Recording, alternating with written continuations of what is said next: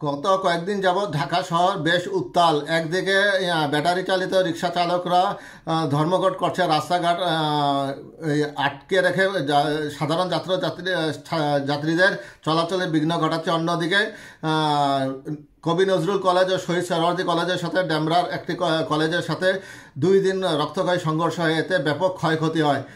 এরই মাঝে আওয়ামী লীগের ষড়যন্ত্রের একটি অংশ হিসেবে ঢাকার বাইরে থেকে ট্রাক এবং গাড়ি ভরে ভরে শাহবাগে এসেছিল। তারা এখানে একটি সমাবেশ এবং একটা উশৃঙ্খল অবস্থা সৃষ্টি করবে। তারই পরিপ্রেক্ষিতে জরুরি সভা ডাকলো বৈষম্য বিরোধী ছাত্র আন্দোলনের সমন্বয়করা। জরুরি সভা ডেকেছে বৈষম্য বিরোধী ছাত্র আন্দোলন। দেশের উদ্ভূত পরিস্থিতিতে সব ক্রিয়াশীল ছাত্র সংগঠনকে নিয়ে এ সভা ডাকা হয়েছে। সোমবার প্ল্যাটফর্মটির নির্বাহী কমিটির এক সভায় এই সিদ্ধান্ত নেওয়া হয়। বৈষম্য বিরোধী ছাত্র আন্দোলনের মুখ্য সংগঠক আব্দুল হান্নান মাসুদ এ তথ্য নিশ্চিত করেছেন। হান্নান মাসুদ জানান, সোমবার সন্ধ্যে সাড়ে সাতটার দিকে বৈষম্য বিরোধী ছাত্র আন্দোলনের অফিসে ছাত্র সংগঠন সংগঠনগুলোর সঙ্গে এ সভা অনুষ্ঠিত হবে। ইতিমধ্যে বিভিন্ন ছাত্র সংগঠনের নেতাদের জানানো হয়েছে।